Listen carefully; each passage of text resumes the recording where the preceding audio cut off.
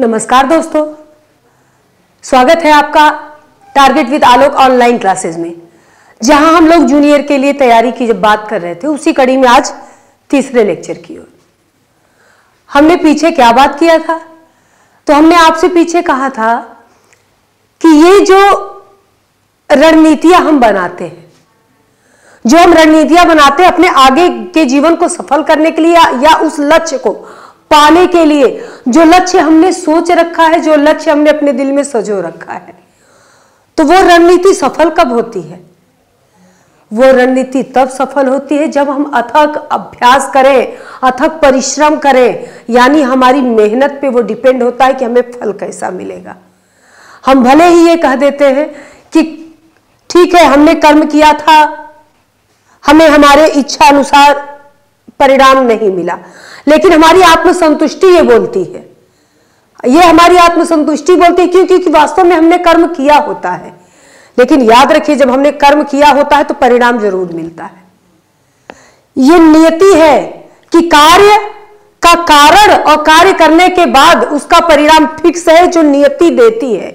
इसलिए कार्य करना है। अगर यही सोच के पीछे सब लोग बैठ गए होते तो अब तक जितने लोगों ने इतिहास रचा है, उनका नाम इतिहास रचने में नहीं होता, वो भी ऐसे ही सोच रहे होते कि हम करेंगे। अब तक तो पीछे बहुत लोगों ने किया है, हम करेंगे तो क्या पा जाएँगे? अगर ऐसा सोचा होता तो आज इतिहास में हम उन्हें ना पढ़ रहे होते और उन्हें हम महान व्यक्ति ना कह रहे होते।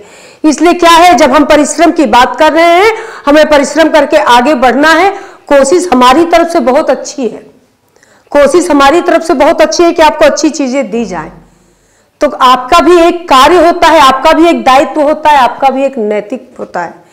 ये कि आप उस अच्छी चीज़ों को ग्रहण करें और हमारे साथ उस कार्य को आगे निरंतर करते जाएँ। मुझे बार बार ये नहीं कहना पड़ेगा कि जो लिंक दिया गया वहाँ नंबर है, आप उस पर संपर्क कर लें। मुझे मुझे नहीं लगता, मुझे कहना पड़ेगा। क्योंकि मुझे लगता है, अगर आपको चैप्टर दिख रहा है, आपको लेक्चर दिख रहा है तो आप समझ गए हैं कि मुझे एक सफल जीवन जीना है। और सफल जीवन के लिए ये जो माध्यम होता है, जो रास्ता है, जो तथ्य है, ये बहुत इंपॉर्टेंट है और ये हमें यहाँ से मिल रहा है। इसलिए मुझे नहीं लगता कि मुझे अलग से कुछ बताने की ज़रूरत है। आकलन तो आप खुद ही कर सकते हैं। क्यों? क्योंकि विधि का एक नियम है। विधि का एक नियम क्या है कि व्यक्ति अपना निर्माता स्वतः होता है। व्यक्ति अपना निर्माता स्वतः होता है उसका निर्माण कोई नहीं कर सकता, एक बात। और दूसरा विधि का नियम कहता है, व्यक्ति का अधिकतम हित उसका अगर कोई कर सकता है तो स्वयं वो कर सकता है। क्यों? क्योंकि वो अपने अंदर छिपा हुआ खुद, अपना नियतवाद है, अपने अंदर छुपा हुआ खुद, अपना निर्धारण करता है। उसको पता होता है कि हमारा जीवन किस ओर जाएगा। और फिर ज़िंदगी बोझ कब लगेगी? जब हम एक बार परिश्रम नहीं करेंगे। ज़िंदगी तभी तो बोझ लगेगी ना, जब हम एक बार परिश्रम नहीं करेंगे।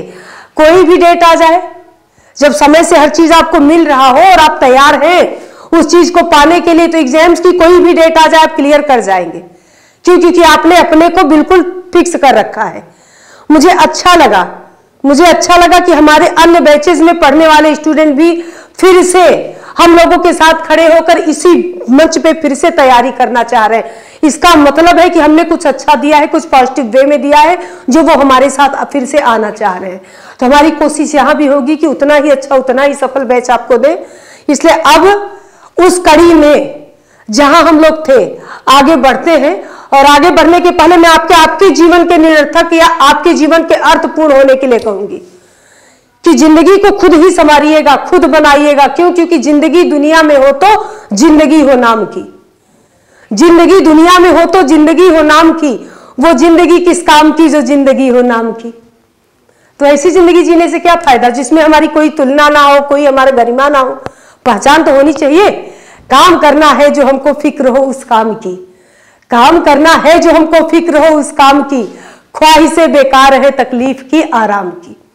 चलिए, अब इसी कड़ी में हम लोग जहाँ पे थे, पीछे लेक्चर में आगे बढ़ते हैं। मैंने पिछले लेक्चर में भारतीय संविधान के माध्यम से आपको बताया था कि किस प्रकार British East India company Bharat में आकर पहले तो व्यापार करने आती है और कैसे वो सत्रह सौ सत्तावन, सत्रह चौसठ, सत्रह पैंसठ की घटना के बाद। ये तीनों घटनाएँ आपको याद होंगे। और ये याद रखना, और मैंने इसीलिए आपको इतिहास के ये टॉपिक जो थे, इतिहास के ये जो मेन फैक्ट थे, इसको मैंने टच किया था और बताया भी था कि कौन कौन से युद्ध लड़ने के बाद ईस्ट इंडिया कंपनी अब व्यापारिक संस्था ना रह के प्रशासनिक संस्था की ओर अग्रसित हो रही है। प्रशासनिक संस्था की ओर अग्रसित हो रही है। फिर मैंने बताया था आपको।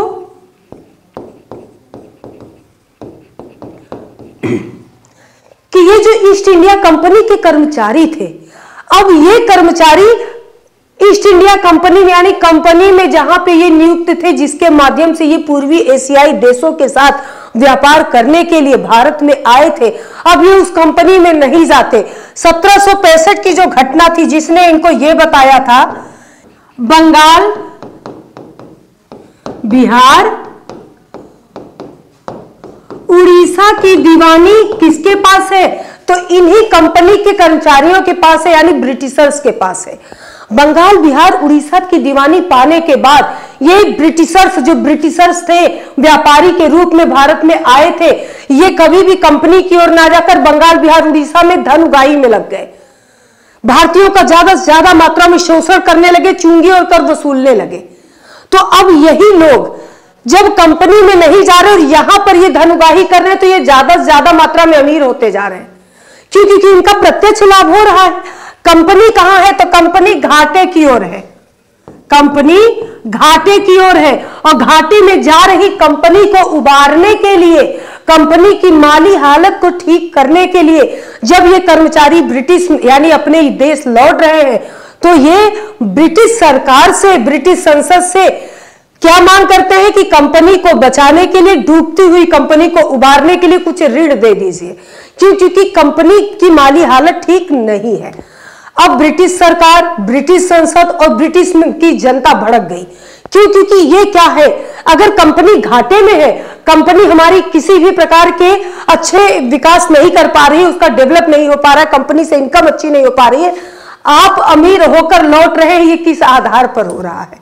यानी अब ब्रिटिश जनता में आक्रोश पैदा हो गया। ब्रिटिश संसद में इस बात की तीखी टिप्पणियाँ होने लगी, टिप्पणियाँ इस प्रकार होने लगी कि लोगों ने कहा यह जो व्यापारिक एकाधिकार लिए हुए ब्रिटिश ईस्ट इंडिया कंपनी है, इस एकाधिकार को समाप्त किया जाए और सभी जनमानस को, जो ब्रिटिश में व्यापार करने वाले समुदाय हैं, उनको भी छूट दे दिया जाए कि वो पूर्वी एशियाई देशों के साथ जाएँ और व्यापार करें। बात समझ में आ रही है? पूर्वी एशियाई देशों के साथ जाएँ और व्यापार करें। हमने यहाँ तक पढ़ा था। जब यह घटना घटती है और कंपनी की माली हालत ठीक नहीं रहती है, तब क्या किया जाता है? ब्रिटिश संसद में यह मुद्दा उठाया जाता है। ब्रिटिश संसद में यह मुद्दा उठाया जाता है और तत्कालीन ब्रिटिश सम्राट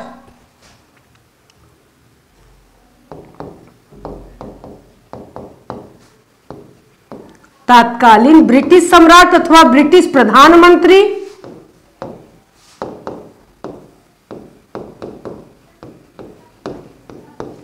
लॉर्ड नाथ के शासनकाल में एक गुप्त समिति बैठाई गई।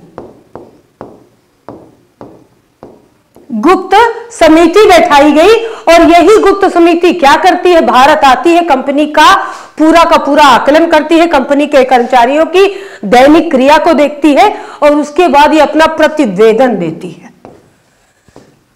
क्या करती है? अपना प्रतिवेदन देती है। प्रतिवेदन मतलब होता है रिपोर्ट। अपना रिपोर्ट देती है इसी रिपोर्ट के आधार पर। इसी रिपोर्ट के आधार पर पहली बार भारत में स्थित ब्रिटिश ईस्ट इंडिया कंपनी को नियंत्रित करने के लिए एक लिखित चार्टर एक्ट दिया गया। यानी एक लिखित अधिनियम पारित किया गया और वो अधिनियम किस लिए था? कंपनी के कर्मचारियों को नियंत्रित करने के लिए था। इसलिए उस अधिनियम को क्या कहा गया? उस अधिनियम को रेगुलेटिंग एक्ट कहा गया। क्या कहा गया है? उस अधिनियम को रेगुलेटिंग एक्ट कहा गया है। यह क्या है? भारतीय संवैधानिक काल के विकास का पहला टॉपिक भारतीय संवैधानिक काल के विकास का पहला टॉपिक है। भारत में सत्रह में जो पारित होकर आया है रेगुलेटिंग एक्ट आज हम किस पर चर्चा करेंगे? इसी रेगुलेटिंग एक्ट पर चर्चा करेंगे।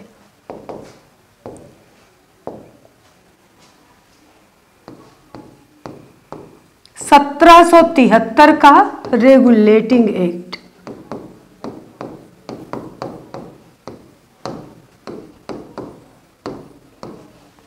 सत्रह सौ तिहत्तर का रेगुलेटिंग एक्ट किस लिए पारित हुआ था?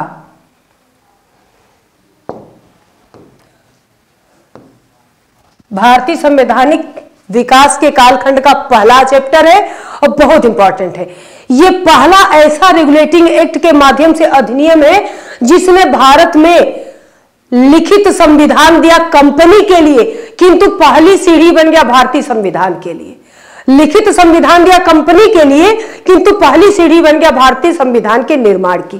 क्या था? रेगुलेटिंग एक्ट किसके शासनकाल में पारित हुआ? क्वेश्चन ये पूछा जाता है। ब्रिटिश प्रधानमंत्री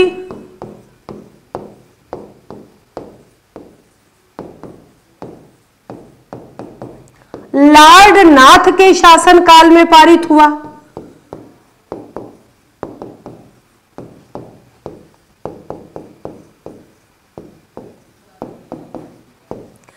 ब्रिटिश सत्रह सौ तिहत्तर का रेगुलेटिंग एक्ट पारित करने का उद्देश्य क्या था? अगर क्वेश्चन पूछा जाए, उद्देश्य क्या था? तो उद्देश्य था भारत में ब्रिटिश साम्राज्य को भारत में ब्रिटिश साम्राज्य को स्थायित्व एवं सुदृढ़ता प्रदान करना, याद रखिएगा, बहुत इंपॉर्टेंट है। स्थायित्व एवं सुदृढ़ता प्रदान करना। इसका उद्देश्य था। किस लिए? क्योंकि कंपनी के जो कर्मचारी हैं, अब ये क्या कार्य कर रहे हैं? तो ये कंपनी के लिए कार्य नहीं कर रहे हैं। ब्रिटिश सम्राट ने सोचा, ब्रिटिश सरकार ने सोचा कि भारत में हमारी जो स्थिति है, भारतीयों को पता चले। इसलिए ये क्या करते हैं? एक लिखित आवेदन देते हैं, एक लिखित प्रतिवेदन भेजते हैं। और जिसको क्या करते हैं तो इसको ये नाम देते हैं, सत्रह सौ तिहत्तर का रेगुलेटिंग एक्ट, और इसके प्रावधान बता देते हैं। ये लाडनाथ के शासनकाल में पारित हो रहा उद्देश्य है भारत में ब्रिटिश साम्राज्य को स्थायित्व एवं सुदृढ़ता प्रदान करना। फिर क्या था? कंपनी के प्रशासन पर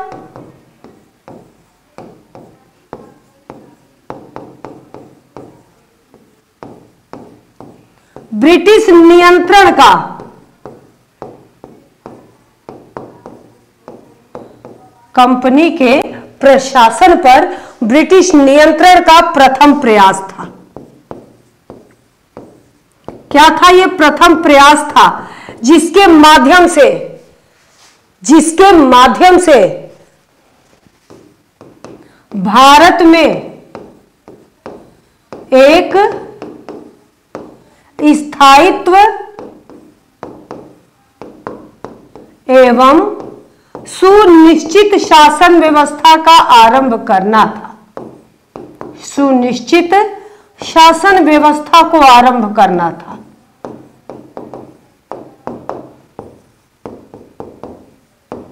ना तो इन्होंने सोचा था कि हम आने वाले 200-250 वर्षों तक शासन करेंगे ना भारतीयों ने सोचा था कि ये ऐसा चार्टर एक्ट होगा जो हमेशा ब्रिटिश से ब्रिटिशर्स के यहाँ से उनके संसद से पारित होकर भारत में ए, हमेशा भारतीयों के लिए कभी ब्रिटिशर्स के लिए आता रहेगा। मतलब ना ब्रिटिशर्स ने ये सोचा था ना भारत के मन में ये बात आई थी। यानी क्या कंडीशन बनी? ये चार कंडीशन बनी किसको पारित करने की? तो ये कंपनी को नियंत्रित करने की चार कंडीशन बनी, जो सत्रह का रेगुलेटिंग एक्ट का मेन फैक्ट है। कि भैया, ये लाडनाथ के शासनकाल में पारित हुआ, ये भारत के लिए नहीं आया है। ये भारत में स्थित कंपनी और उनके कर्मचारियों को नियंत्रित करने के लिए आया है। इसका मतलब अगर सवाल पूछ लिया जाए तो सवाल सिर्फ़ सिंपल सा आंसर क्या होगा? कि regulating act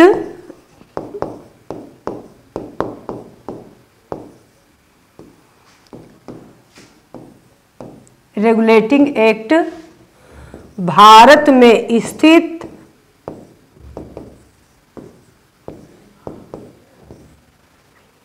कंपनी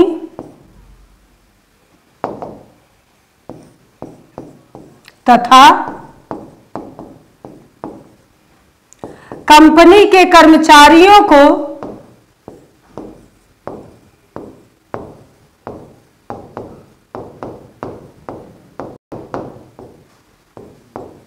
नियंत्रित करने के लिए आया था।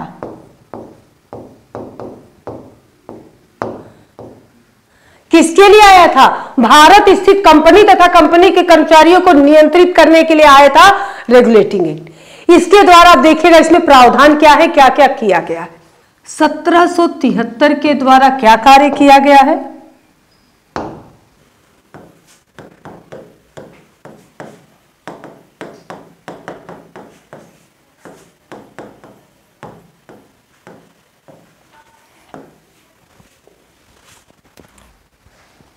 इसके द्वारा पहली बार 24 सदस्यीय बहुत इंपॉर्टेंट है। 24 सदस्यीय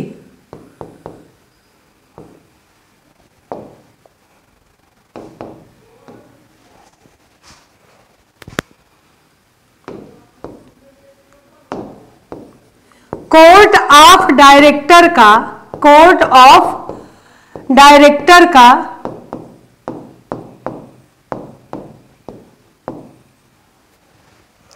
गठन किया गया है। किसका किया गया है? 24 सदस्यीय कोर्ट ऑफ़ डायरेक्टर का गठन किया गया है।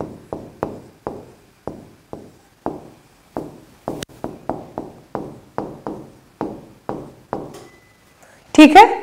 यानी इस कंपनी इस जो चार्टर एक्ट है, इसके द्वारा क्या कार्य किया गया है? 24 सदस्यीय कोर्ट ऑफ़ डायरेक्टर का गठन किया गया। ऐसे कोर्ट ऑफ़ डायरेक्टर को बोर्ड ऑफ़ डायरेक्टर भी कहा जाता है। ऐसे कोर्ट ऑफ़ डायरेक्टर को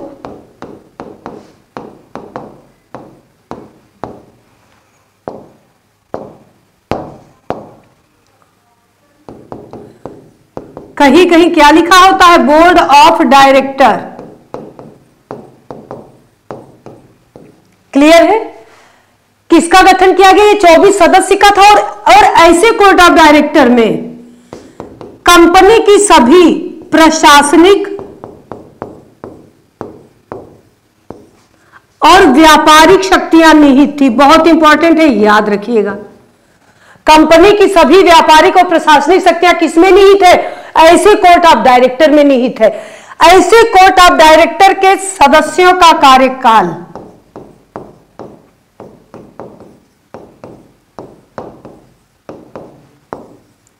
याद रखिएगा, गवर्नर जनरल की कार्यकारिणी परिषद के सदस्यों का कार्यकाल और कोर्ट ऑफ़ सदस्य के, जो कोर्ट ऑफ़ डायरेक्टर के सदस्य, इनके कार्यकाल में कंफ्यूजन होती है।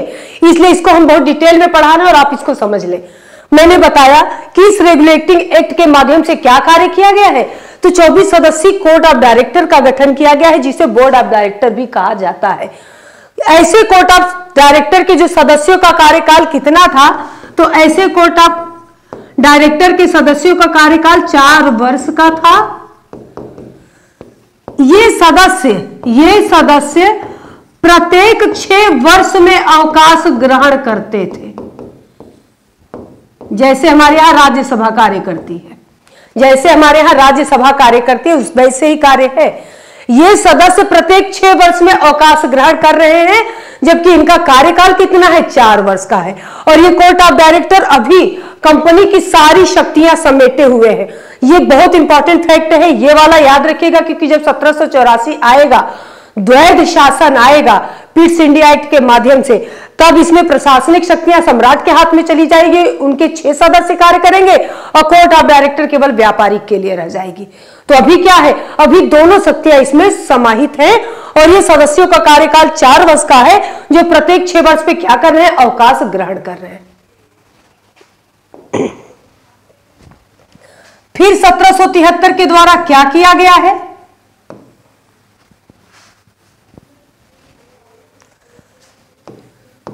गवर्नर का पद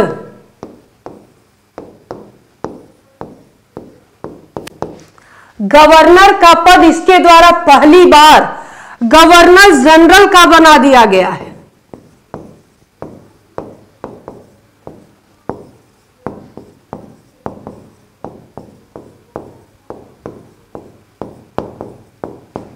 क्या किया गया? गवर्नर के पद को गवर्नर जनरल का बना दिया गया। और कौन से गवर्नर का? तो बंगाल के गवर्नर का। और इस हिसाब से गवर्नर जनरल कौन बना है? वारेन हेस्टिंग्स बना है। पूछा जाता है, प्रथम गवर्नर जनरल कौन था? वारेन हेस्टिंग्स था। बंगाल का गवर्नर था, जिसे 1773 के रेगुलेटिंग एक्ट के द्वारा गवर्नर जनरल बना दिया गया है। ऐसे गवर्नर जनरल को सहायता देने के लिए, यानी ऐसे गवर्नर जनरल के कार्यों में सहायता देने के लिए चार सदस्यीय एक कार्यकारिणी परिषद का गठन किया गया है।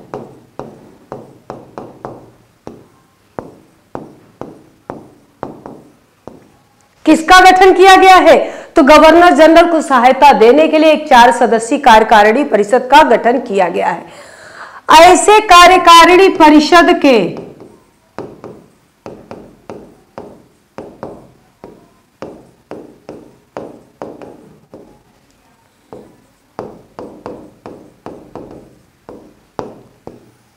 कंफ्यूज नहीं होना है। कंफ्यूज बिल्कुल नहीं होना है। कोर्ट ऑफ़ डायरेक्टर अलग है और कार्यकारिणी परिषद अलग है। ऐसे कार्यकारिणी परिषद के सदस्य इंग्लैंड स्थित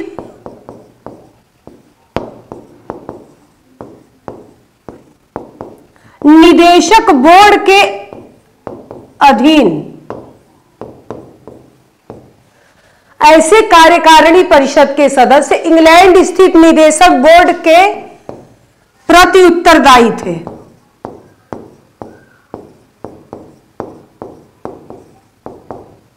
किसके प्रति उत्तरदायी थे? तो ये अपने कार्यों के लिए निदेशक बोर्ड के प्रति उत्तरदायी थे जो इन्हें पाँच वर्ष कार्यकाल के पूर्व भी सिफारिश करके ब्रिटिश सम्राट द्वारा इन्हें क्या कर सकता था? महाभियोग द्वारा हटा सकता था। यानी गवर्नर जनरल की नियुक्ति और गवर्नर जनरल को हटाने की प्रक्रिया किसके हाथ में थी? निदेशक बोर्ड के हाथ में थी। ऐसे कार्यकारिणी सदस्यों के कार्यकाल क्या थे? तो ऐसे कार्यकारिणी सदस्यों का कार्यकाल पाँच वर्ष का था। ऐसे कार्यकारिणी परिषद के सदस्य जो गवर्नर जनरल के परिषद के सदस्य थे, इनका कार्यकाल पाँच वर्ष का था, किंतु पाँच वर्ष पूर्ण होने के बाद भी, याद रखिएगा, जैसे मान लीजिए इन्होंने आज की तारीख पे पद ग्रहण किया, शपथ लिया, आज की तारीख से पाँच वर्ष तक ये बने रहेंगे, और पाँच वर्ष मान लीजिए इनका कार्यकाल पूरा हो गया तो ये तब तक अस्थायी रूप में बने रहेंगे सदस्य, जब तक इनका उत्तराधिकारी आकर अपना पद ना ग्रहण कर ले, जैसा कि हमारे यहाँ राष्ट्रपति और उपराष्ट्रपति के बारे में जब तक इनका उत्तराधिकारी आकर पद ना ग्रहण कर ले, तब तक ये क्या होगा? तो ये अस्थायी सदस्य के रूप में कार्य करते रहेंगे।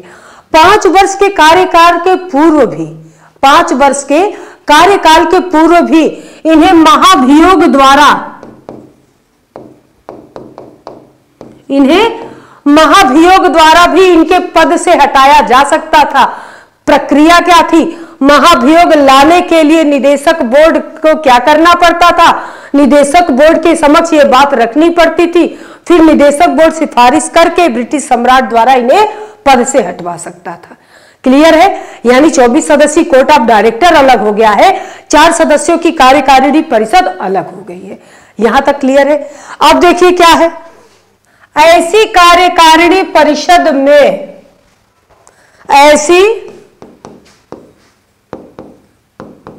कार्यकारिणी परिषद में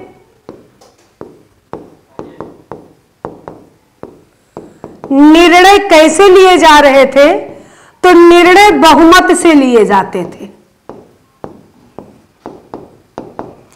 ऐसी कार्यकारिणी परिषद किस आधार पर कार्य कर रही तो ऐसी कार्यकारिणी परिषद क्या कर रही है? बहुमत के निर्णय के आधार पर कार्य कर रही है। मान लीजिए बहुमत किसी मुद्दे पर नहीं हो पाया। निर्णय नहीं आ पा रहा है। मत दोनों में बराबर बराबर है। मान लीजिए कंडीशन ऐसी आई कि मत बराबर बराबर है, निर्णय नहीं हो पाया। ऐसी परिस्थिति में गवर्नर जनरल को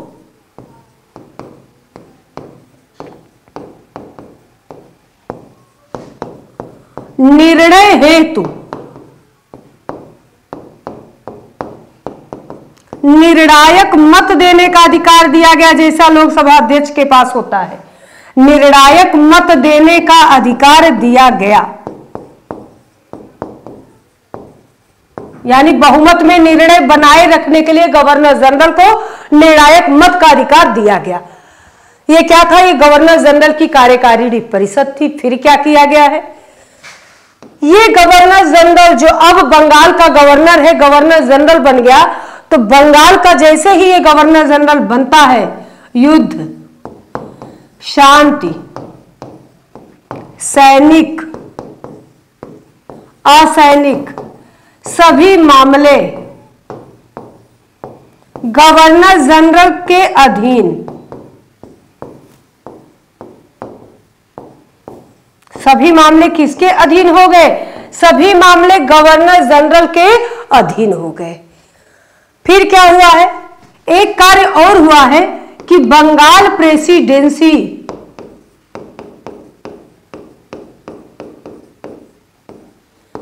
के अधीन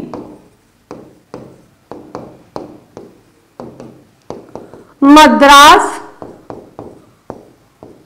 और बंबई प्रेसिडेंसी भी हो गई। अब तक जो मद्रास और बंबई प्रेसिडेंसियाँ अलग थीं, जो अपने अपने निर्णय, अब चाहे वो सैन्य मामले में हो, चाहे युद्ध और शांति के मामले में हो, चाहे सिविल मामले में हो अपने अपने निर्णय अलग लेती थी।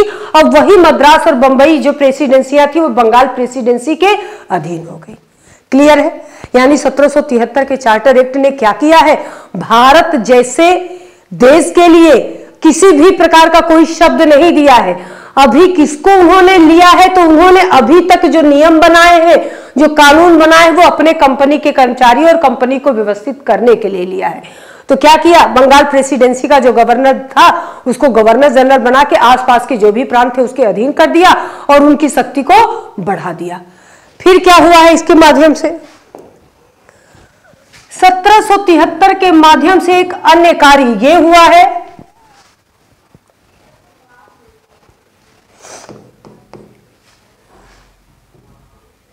कलकत्ता में क्वेश्चन थोड़ा सा अलग आएगा, इसलिए मैंने काट के अलग बनाया चाहा। 1773 का प्रावधान कहता है। याद रखिएगा 1773 का प्रावधान में है मतलब इसको अभी हम सॉल्व कराते हैं। 1773 का प्रावधान में क्या बात है? इसमें यह बात कही गई है कि 1774 में, कलकत्ता में एक सर्वोच्च न्यायालय स्थापित की जाएगी।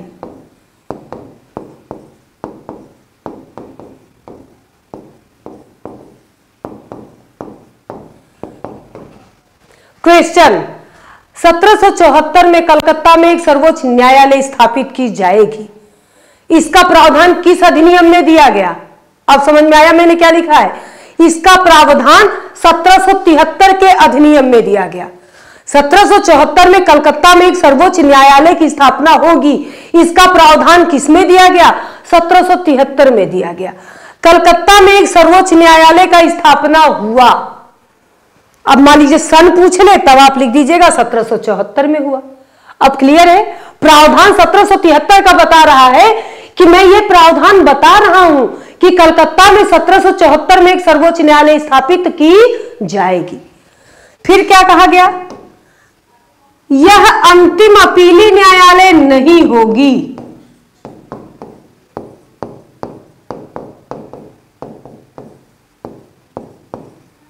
यह अंतिम अपीली न्यायालय नहीं होगी।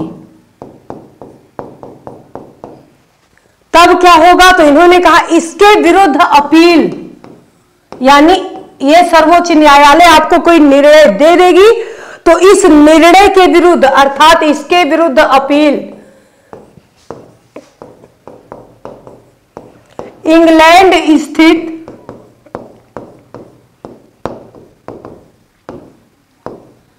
प्रीवी काउंसिल में की जाएगी।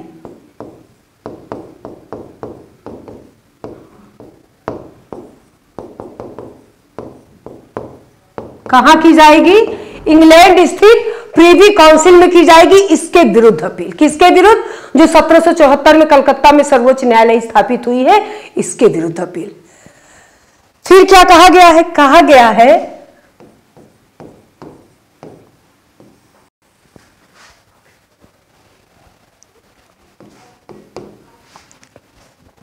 इस सर्वोच्च न्यायालय में कौन कौन होगा?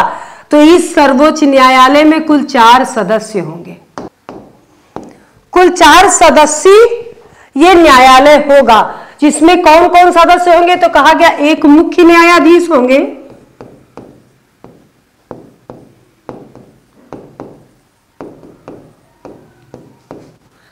तथा तीन अन्य न्यायाधीश होंगे।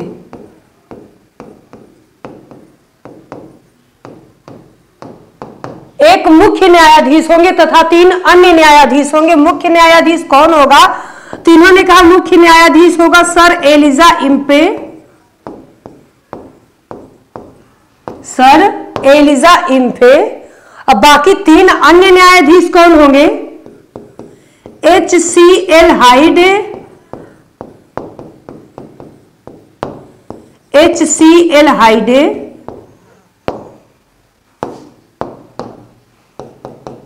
Chambers और लिमेस्टर। क्वेश्चन पूछा गया है।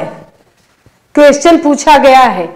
इसमें एक नाम गायब है और क्वेश्चन पूछा गया है। आप क्वेश्चन ढूंढिएगा, मिलेगा ज़रूर। यानी मुख्य न्यायाधीश होंगे sir Elijah Impey S C L Hyde, Chambers और लिमेस्टर थे। ये चार सदस्य होगा और ऐसा चार सदस्य जो सर्वोच्च न्यायालय होगा, उसमें न्यायाधीशों की योग्यता क्या होगी? तो कहा गया, ऐसे न्यायाधीशों को पाँच वर्षों के वकालत का, ऐसे न्यायाधीशों को पाँच वर्ष के वकालत का अनुभव होना अनिवार्य है।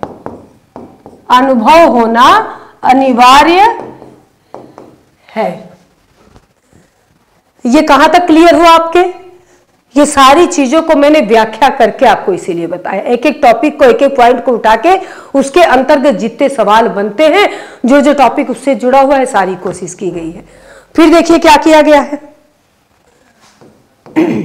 सत्रह में चूँकि ये रेगुलेट करने आया है चूँकि ये रेगुलेट करने आया है इसलिए ये रेगुलेट कर रहा है। कंपनी का कोई भी कर्मचारी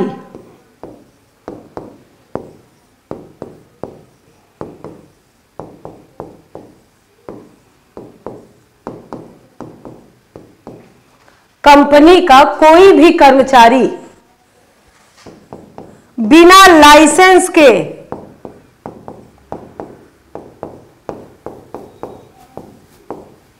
व्यापार नहीं कर सकता। यानी इन्हें अगर निजी व्यापार करना है तो लाइसेंस लेंगे और निजी व्यापार की तो मना ही हो गई। आपको लाइसेंस लेना अनिवार्य है ब्रिटिश संसद से। फिर क्या कहा गया? कंपनी का कोई भी कर्मचारी, किसी भी बाहरी भारतीय व्यक्ति से, किसी भी बाहरी भारतीय व्यक्ति से किसी भी प्रकार का दान, उपहार पारितोष नहीं लेगा।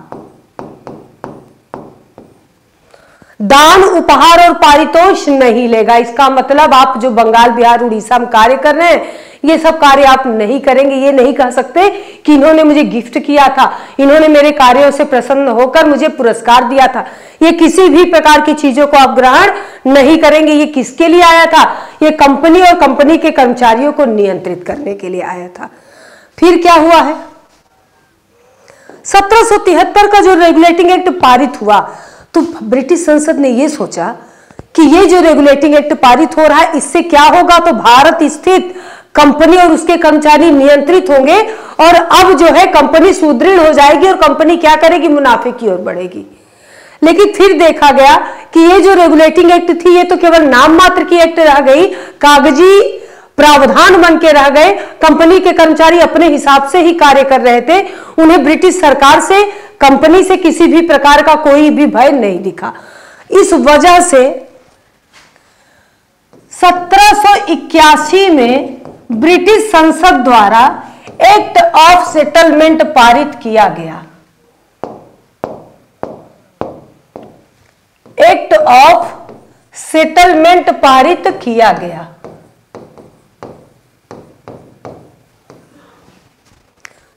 एक नया अधिनियम पारित हुआ सत्रह सौ इक्यासी में। कौन सा अधिनियम? एक्ट ऑफ़ सेटलमेंट पारित हुआ और ऐसा एक्ट ऑफ़ सेटलमेंट जो पारित हुआ, इसमें क्या कहा गया? इसमें सबसे पहली बात समझिए, इस अधिनियम को संशोधात्मक अधिनियम कहा गया।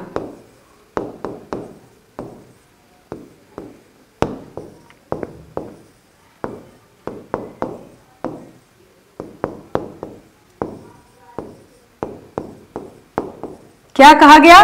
संशोधात्मक अधिनियम कहा गया, क्योंकि इसके द्वारा पहली बार संशोधन किया गया था। इस अधिनियम द्वारा कलकत्ता की सरकार को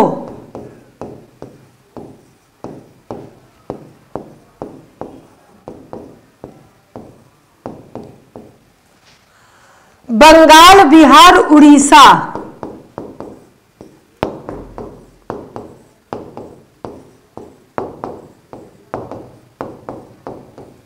बंगाल, बिहार, उड़ीसा के लिए भी विधि बनाने का अधिकार दिया गया।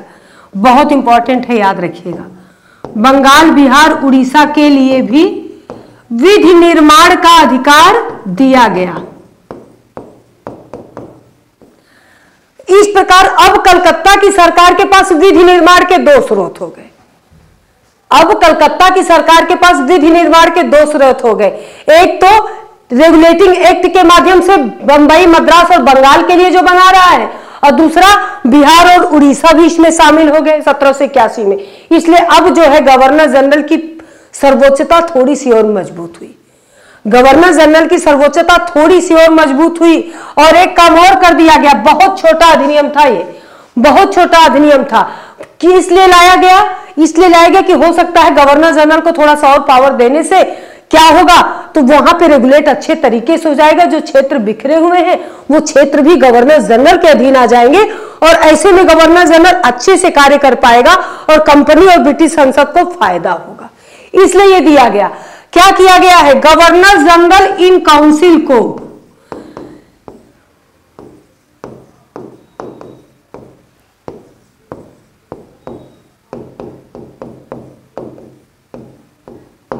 मतलब जो गवर्नर जनरल की कार्यकारिणी परिषद थी, उसको सर्वोच्च न्यायालय की अधिकारिता से मुक्त कर दिया गया।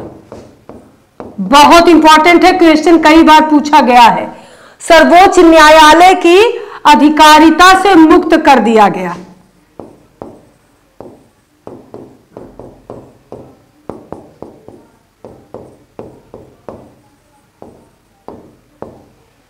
क्लियर है यानी गवर्नर जनरल की अधिकार को और उसकी कार्यकारिणी परिषद को सर्वोच्च न्यायालय की अधिकारिता से कब मुक्त किया सत्रह में।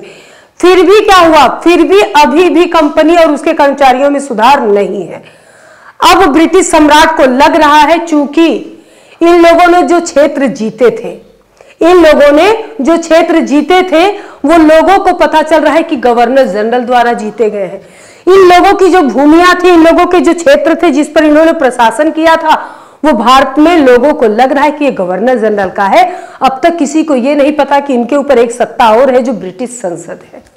क्लियर है?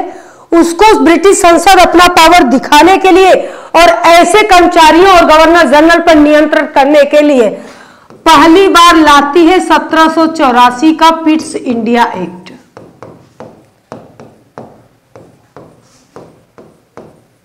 क्या लाती है? सत्रह का पिट्स इंडिया एक्ट लाती है। और ये सत्रह का जो पिट्स इंडिया एक्ट था, बहुत इंपॉर्टेंट था और भारत में पहली बार द्वैध शासन आएगा जो अठारह तक स्थापित रहेगा। भारत में पहली बार द्वैध शासन आएगा जो अठारह तक स्थापित रहेगा। सत्रह सौ चौरासी का पीठ से इंडिया एक्ट क्या है? तो सत्रह सौ चौरासी का पीठ से इंडिया एक्ट, सबसे पहले यह जान लीजिए कि यह तत्कालीन प्रधानमंत्री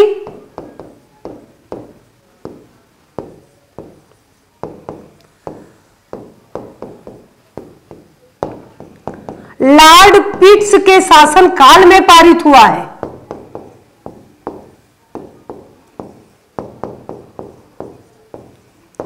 तात्कालीन प्रधानमंत्री लॉर्ड पिट्स के शासन काल में पारित हुआ है। इसलिए इसका नाम क्या रखा गया है? इसलिए इसका नाम पिट्स इंडिया एक्ट रखा गया है। क्लियर है?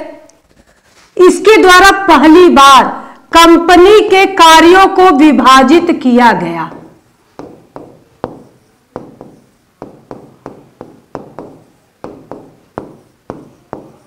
कंपनी के कार्यों को विभाजित किया गया।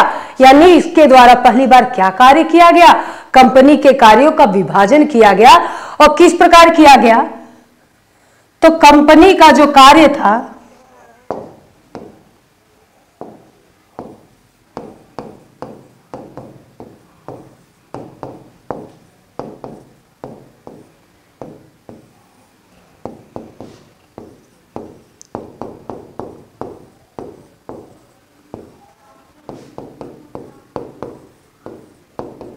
अब याद होगा आपको 24 सदस्यीय कोर्ट ऑफ़ डायरेक्टर का गठन किया गया था सत्रह सौ तिहत्तर में, जिसमें सारी शक्तियाँ समाहित थी। कौन सी? प्रशासनिक और राजनीतिक। फिर से इंडिया एक्ट के माध्यम से क्या किया गया? कंपनी के कार्यों का विभाजन कर दिया गया। दो विभाजन हुआ, प्रशासनिक और राजनीतिक। प्रशासनिक कार्य किसके हाथ में रहने दिया गया? तो प्रशासनिक कार्य, राजनीतिक कार्य तो रहने दिया गया। कोर्ट ऑफ़ डायरेक्टर, जिसको बोर्ड ऑफ़ डायरेक्टर कहते हैं, उनके हाथों में। कोर्ट ऑफ़ डायरेक्टर अथवा जिसको बोर्ड ऑफ़ डायरेक्टर कहते हैं, उनके हाथों में प्रशासनिक, और आप यहाँ लिख सकते हैं, व्यापारिक। आप इसको व्यापारिक कार्य करें। व्यापारिक कार्य किसके हाथ में रहने दिया गया? व्यापारिक कार्य रहने दिया गया कोर्ट ऑफ़ डायरेक्टर अथवा बोर्ड ऑफ़ डायरेक्टर के हाथों में जो 24 सदस्य थी। प्रशासनिक कार्यों के लिए क्या कार्य किया गया? तो प्रशासनिक कार्यों के लिए एक बोर्ड का गठन किया गया।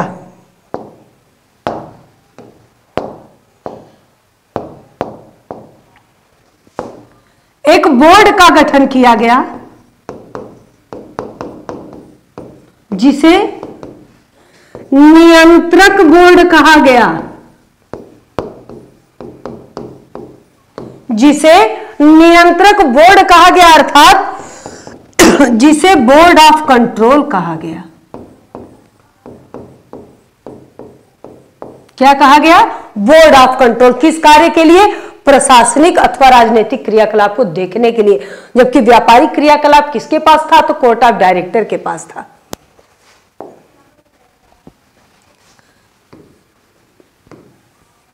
ये हम लोग किसकी बात कर रहे हैं? तो सत्रह चौरासी की बात कर रहे हैं। पिट्स इंडिया एक्ट की बात कर रहे हैं। अब ये कोर्ट ऑफ़ डायरेक्टर क्या है? सॉरी बोर्ड ऑफ़ कंट्रोल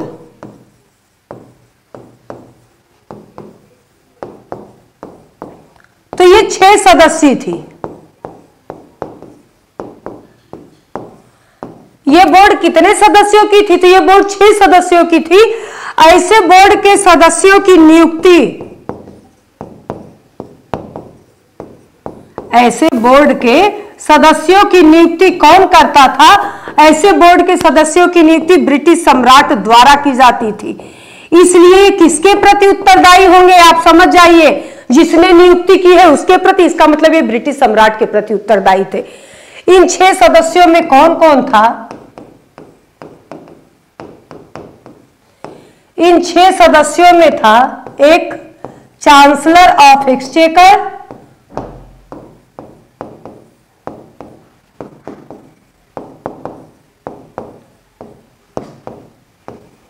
एक राज्य सचिव।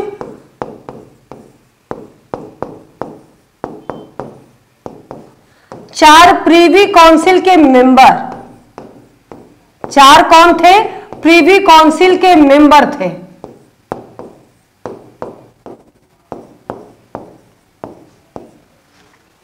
क्लियर है? यानी कंपनी के कार्यों का विभाजन करके दो भाग कर दिया गया। व्यापारिक कार्य, प्रशासनिक कार्य। व्यापारिक कार्य किसके हाथ में रहने दिया गया? तो कोर्ट ऑफ़ डायरेक्टर के जो कि 24 सदस्य अभी भी बनी हुई है। लेकिन इन पर नियंत्रण के लिए प्रशासनिक जो कार्यों को देखने का कार्य किसे सौंपा गया? तो एक नियंत्रक बोर्ड को सौंपा गया, जो court of board of control कहलाती है, जिसमें कुल छह सदस्य थे। ऐसे छह सदस्यों की नियुक्ति कौन कर रहा है? ऐसे छह सदस्यों की नियुक्ति ब्रिटिश सम्राट कर रहा है, इसलिए ये ब्रिटिश सम्राट के प्रति उत्तरदायी है। इन छह सदस्यों में कौन कौन है? एक चांसलर ऑफ़ एक्सचेकर है, एक राज्य सचिव है, चार प्रीवी काउंसिल के मेंबर है। क्लियर है?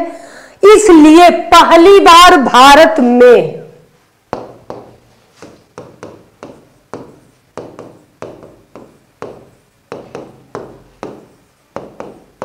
कंपनी के माध्यम से ही द्वैध शासन आरंभ हुआ। बहुत इंपॉर्टेंट है। द्वैध शासन आरंभ हुआ सत्रह में, जो कब तक चला? अठारह तक चला। बाद में हम लोग देखेंगे 1919 से वो प्रांतों में दिखेगा। तो कब तक चला? अठारह तक चला। पहली बार भारत में क्या किया गया? द्वैध शासन का आरंभ किया गया। ये जो छह सदस्य थे। इनके कार्यों की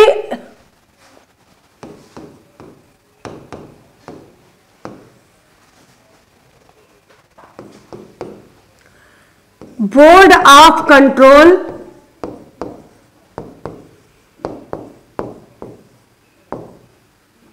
इसे हम लोग शॉर्ट टर्म में बीओसी भी कहते हैं। बोर्ड ऑफ़ कंट्रोल के सदस्यों की बैठक। कौन संचालित करता था? तो इनके बैठकों की अध्यक्षता राज्य सचिव करता था। बहुत इंपॉर्टेंट है, राज्य सचिव करता था, जो कि सत्रह सौ तिरानवे से सब वेतन कार्य करने लगा। यानी अभी तक ये वेतन राज्य सचिव के पद का नहीं लेता है। राज्य सचिव के पद का नहीं लेता है। ये राज्य सचिव के पद का वेतन कब से लेगा? सत्रह से लेगा। और ये तब तक कार्य करता रहेगा जब तक इसके स्थान पर अठारह में भारत राज्य सचिव नहीं आ जाएगा। जब तक भारत सचिव नहीं आ जाएगा, तब तक ये अपने कार्यों का उत्तरदायित्व करता रहेगा। लेकिन ये वेतन कब से लेगा? तो ये वेतन लेगा सत्रह से। क्वेश्चन बहुत इंपॉर्टेंट है। और ये अठारह तक कार्य कर रहा है। कब तक, जब तक इसके स्थान पे भारत राज्य सचिव नहीं आ जाता, तब तक। फिर क्या था? जो द्वैध शासन लागू हुई, वो कैसे हुई, ऐसे समझ लीजिए। बीओसी के माध्यम से ब्रिटिश सम्राट शासन कर रहा है। भाई, अपने कार्यों के प्रति ब्रिटिश सम्राट के प्रति उत्तरदायी है। अपने कार्यों के लिए ब्रिटिश सम्राट के प्रति उत्तरदायी, इसलिए अप्रत्यक्ष रूप से ब्रिटिश सम्राट आ गया है। कोर्ट ऑफ़ डायरेक्टर किसके लिए कार्य कर रही है? तो कंपनी का कार्य, इसलिए दो प्रकार की शक्तियाँ भारत में कार्य कर रही हैं। एक East India company governor general, और दूसरा कौन कर रहा है? बोर्ड ऑफ़ कंट्रोल इस पर नियंत्रण के लिए। इसलिए भारत में पहली बार सत्रह सौ चौरासी में द्वैध शासन आया, जो अठारह तक स्थापित रहेगा। इस अधिनियम द्वारा एक कार्य और हुआ है। इस अधिनियम द्वारा एक कार्य और हुआ है, वो कार्य क्या है? वो कार्य जो इस अधिनियम के द्वारा हुआ है, एक कार्य ये है, गवर्नर जनरल की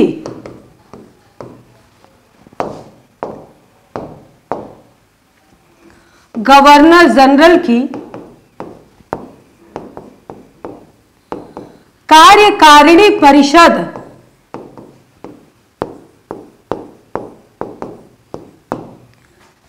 कितने सदस्यों की थी?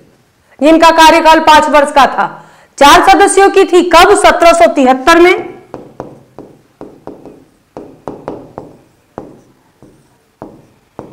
सत्रह सौ तिहत्तर में। सत्रह के द्वारा इसके सदस्यों की संख्या एक घटाकर क्या कर दी गई है? कार्यकारिणी परिषद के सदस्यों की संख्या एक करके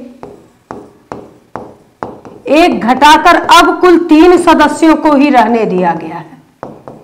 यानी गवर्नर जनरल के कार्यकारिणी परिषद की तीन सदस्य ही सदस्य संख्या रहने दिया गया। और निर्णय भी अभी कौन ले रहा है? बहुमत से लिया जा रहा है। ये क्या था? ये दोहरे शासन का आरंभ था, जो भारत में कंपनी के कारण पारित होता है, कंपनी के कारण निर्मित होता है, और अठारह तक धीरे धीरे ये हर क्षेत्र को छूता है। अठारह तक धीरे धीरे है ये हर क्षेत्र को छूता है। और क्या कहा गया?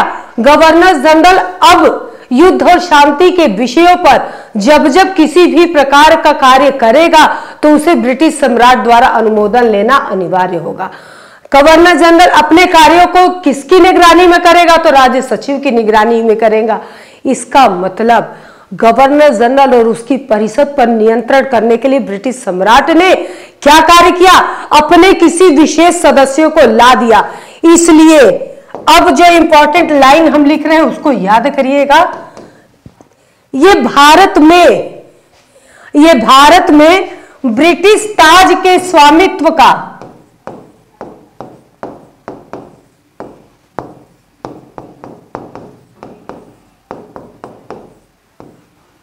ब्रिटिश ताज के स्वामित्व के निर्धारण का प्रथम वैधानिक दस्तावेज़ है। बहुत इंपॉर्टेंट है। प्रथम वैधानिक दस्तावेज़ है। जैसे इसने बता दिया कि जो क्षेत्र आपको दिखता है, जो अधिकार आपको दिखता है, वो गवर्नर जनरल और इन काउंसिल का नहीं है। वो किसका है? तो ब्रिटिश सम्राट का। है इसलिए उसने क्या किया?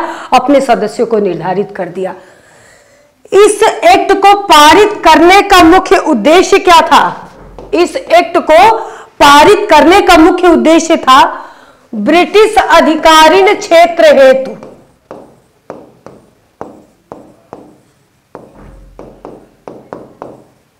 ब्रिटिश अधिकारीन क्षेत्र हेतु।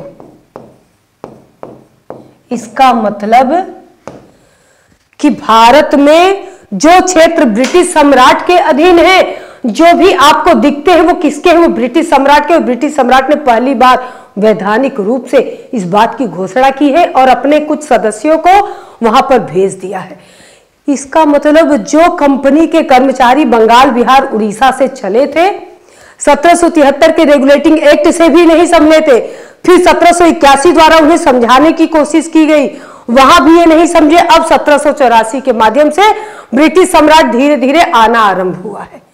द्वैत शासन आरंभ हो गया है। अब एक ही देश में दो अलग अलग सत्ता कार्य कर रही है। और याद रखिएगा, ये गवर्नर जनरल आगे चलकर धीरे धीरे कितना मज़बूत होगा। गवर्नर जनरल को सत्रह के अधिनियम, जब हम लोग अगले लेक्चर में पढ़ेंगे तब देखिएगा सत्रह का अधिनियम, यानी सत्रह में एक बार गवर्नर जनरल को डाउन किया है तो अब गवर्नर जनरल अपनी ताकत के साथ सत्रह में आएगा, जब वो प्रशासनिक सुधार कराएगा, लॉर्ड कार्नवालिस आएगा। लॉर्ड कार्नवालिस का शासनकाल जब आता है तो गवर्नर जनरल की गरिमा और ऊँची कर दी जाती है, और उसे सत्रह के आसपास उसे भारत का भाग्य विधाता कहा जाने लगा था। और भारत का भाग्य विधाता जो था, वो अठारह के आगे जब चलना आरंभ होता है, तब उसे क्या कहा जाता है? तब उसे कहा जाता है excellency your excellency his excellency यानी इस नाम से संबोधित किया जाता है, वो इतना पावरफुल हो जाता है। 1909 1919 के आसपास पहुंचकर गवर्नर जनरल पर टिप्पणी भी की जाने लगती है कि अमेरिका में जो शासक है, वो केवल और केवल क्या कर रहा है? तो केवल केवल राज्य कर रहा है। केवल शासन कर रहा है, राज्य नहीं कर रहा है। फ्रांस में राज्य कर रहा है, शासन नहीं कर रहा है। हर जगह कुछ प्रॉब्लम है, यानी अकेला शासक कहीं राज्य करता है, कहीं शासन करता है, मगर भारत में एकमात्र ऐसी जगह पे ब्रिटिश गवर्नर जनरल ही ऐसा पावर रखता है जो राज्य भी कर रहा है, शासन भी कर रहा है। इसलिए वो कौन है तो भारत का भाग्य बिताता है। ये पूरे ढंग से डिटेल से हम लोग अब धीरे धीरे आगे के लेक्चर में पढ़ेंगे। तो आज हमने क्या देखा? पिछले लेक्चर में जहाँ हम शुरू हुए थे, पहले एपिसोड के साथ, पहले लेक्चर के साथ, हमने क्या देखा था कि किस प्रकार भारत में कंपनी आती है, कंपनी भारत को ही क्यों चुनती है, कंपनी भारत में किस प्रकार अपनी कोठी का स्थापना करती है, कैसे वो युद्ध शुरू करती है।